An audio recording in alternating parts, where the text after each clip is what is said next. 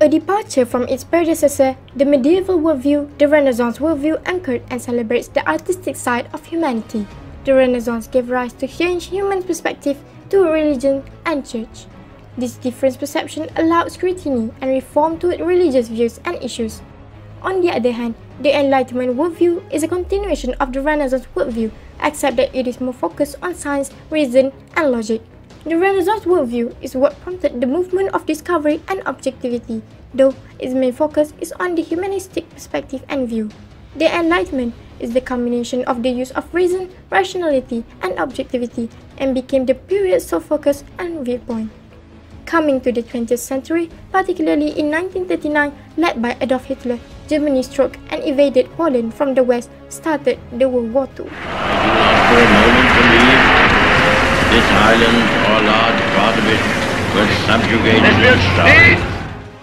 Touching on morality and art, authors like Golding, Murdoch, Spark, and Burgess bring the thoughts on religion and philosophy into existence as a renewed attempt to present the vision of the world as a battleground of forces of good and evil.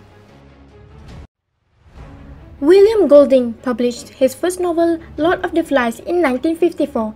Lord of the Flies explored the savage side of human nature as the boys, let loose from the constraints of society, brutally turns against one another in the face of an imagined enemy.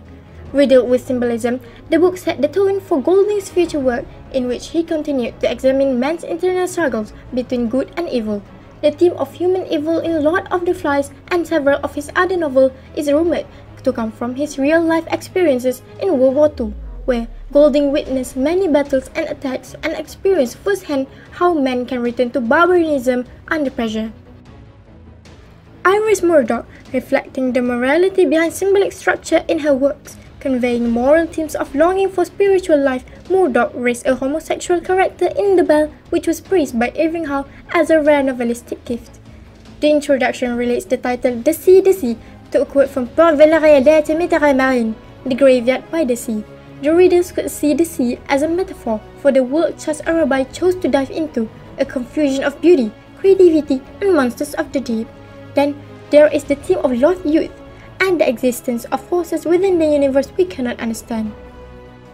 Spark, or Muriel Sarah Spark, Catholic Scottish novelist, wrote The Ballad of Peckham Rye 1960 and the renowned The Prime of Miss Jean Brodie 1961.